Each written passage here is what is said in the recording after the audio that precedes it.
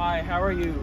Luke Wilkerson here from Wise Auto Sales, and this right here is a 2016 BMW 228i, and this one has 82,000 miles. Let's take a look. So as you can see, we have this very, this very black, matte black sort of gloss black sort of paint, which looks really well on this car, especially contrasting with these nice upgraded wheels that we have, which looks really good. Suit this car very well and they are wrapped in Michelin.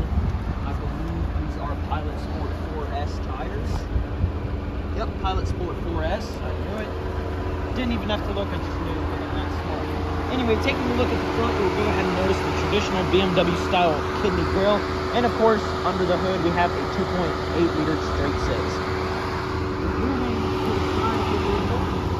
You'll go ahead and notice carbon fiber mirrors. That is an option. Actually, I think that's just a wrap on it, but still looks really cool. Back, you can see the mirror right there. You can go ahead and see that the fuel tank is on the right side of this vehicle. Lifting up to the trunk, you will go ahead and notice some floor mats back here, and then it has quite a lot of space back here as well. Let's go take a look.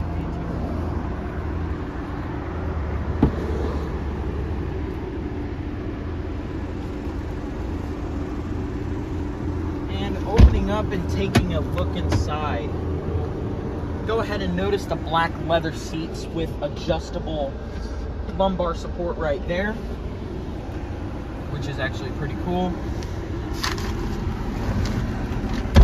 And of course right here, you will go ahead and notice your drive mode selection system, your gear selection system as well right here with sport mode, with sport powertrain.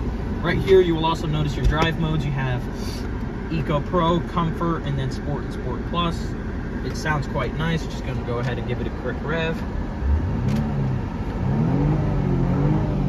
Don't know if you can hear it. That's pretty much red line, so it is a very quiet car, but it does sound pretty good nevertheless.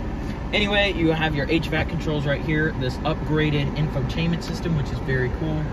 And I believe it is, yep, so one thing that it's it's not a BMW infotainment system, but what it can do is it can run the original BMW infotainment system if you click original car.